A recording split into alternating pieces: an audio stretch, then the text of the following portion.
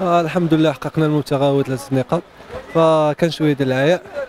آه الحمد لله استطعنا نتغلبوا عليه. فكيف ما كيعرف الجميع ففي ثلاث نقاط هي اللي كانت مهمة في هذه المباراة. فاحنا الحمد لله غنوجدوا الماتش الماتش اللي جاي إن شاء الله. باش نحققوا فيه حتى نتيجة إيجابية إن شاء الله باش نمشيو للمسار ديال الفوز بالبطوله إن شاء الله. فكنظن كنظن فريق الفتح تيبقى فريق آه، اللي قوي. فكنظن بأنه تيعتمد على عناصر شابة وغيقول الكلمة ديالو من القدام إن شاء الله.